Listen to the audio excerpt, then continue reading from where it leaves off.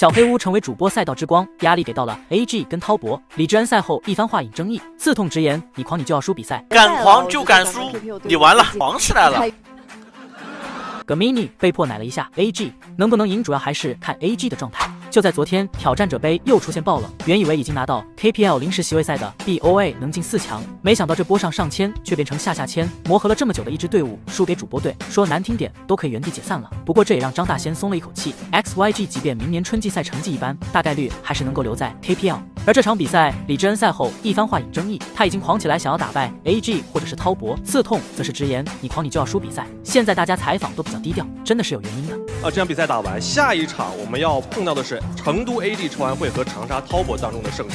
在上半区，其实还有重庆狼队和佛山 DRG 四支队伍，最想跟谁交手？呃，跟 DRG 吧。DRG 对啊，这个原因是什么呢？我们如果能打到。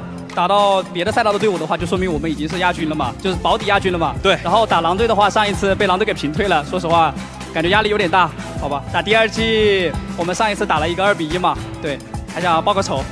你完了，知道为什么那么多 KPU 选手来台上采访？每个人都那么谦虚，那不不敢放放狠话吗？因为只要你一狂，敢狂就敢输，你完了，狂起来了，狂起来你就完蛋了呀！谁让你狂的呀？不要太狂啊，小心一点。然后就是个 mini 被迫奶了一下 AG，因为他旁边坐着的都是 AG 人，甚至林甲男因为他说看好滔博，直接说梦泪买单。只能说个 mini 六连败已经深入人心，属实是太亏贼了。就是一本啊，明天有一说一，滔博的胜率是要比 AG 高。这什么？真的？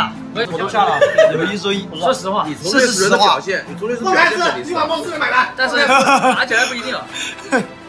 你说，说句实话是三面看好，看好滔博。对，我就今天买单。不用看好了，三句话就已经够了。关键是他内心确实也是看好滔博。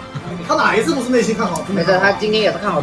总的来说，小黑屋确实是完成了当时被认为不可能的事，即便倒在四强也心满意足了，自然不怪李智恩这么狂。至于 AG 跟滔博谁晋级四强，个人感觉 AG 赢的概率更大。当时滔博之所以能赢 TTG，主要还是因为他们的轻敌加状态不好，AG 可不会给这种机会。不过并不是说滔博一定会输，毕竟 AG 也总是在关键局掉链子，比如拿出科研阵容。最后大家觉得 AG 能赢滔博吗？小黑屋还能更进一步吗？